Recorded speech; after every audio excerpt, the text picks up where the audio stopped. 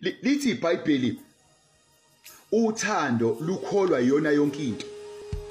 In other words uma ithi ethi Corinthian uthando lukholwa yona yonke into. Ngamanye amazwi ama ah, ningahlala for 40 years.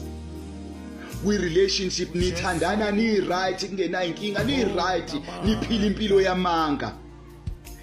As long as ingaka ningakaboni amanga ningakaboni nakhele phezulu kwamanga. Ningakaboni nakhana ngamanga. Amanga ayohleze yiqiniso mengakambe mengakaveli ukuthi amanga. Mhla kwavela ukuthi amanga ilani yobona khona kulona iqiniso. Kodwa yonke into mengakaveli noma kuthiwa yamanga yonke into mengakaveli ukuthi iyamanga iyobonakala iqiniso futhi iyohlezi iqiniso So be careful ke ngoba lithi iBhayibheli 1 Corinthians chapter eh, eh, cha- cha- chapter 13 verse number 7 lithi uthando likholwa yiyona yonke into.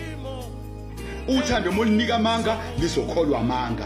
Mokhuluma amanga lizokholwa amanga. Futhi lakhiwa amanga lube right futhi likhule futhi ngamanga. Kube uthando futhi lo okuyilo la ngempela nithandane futhi ngo ngokuyikho futhi. But i problem amanga ngoba uthando likholwa iyona yonke into. That the bible tells us.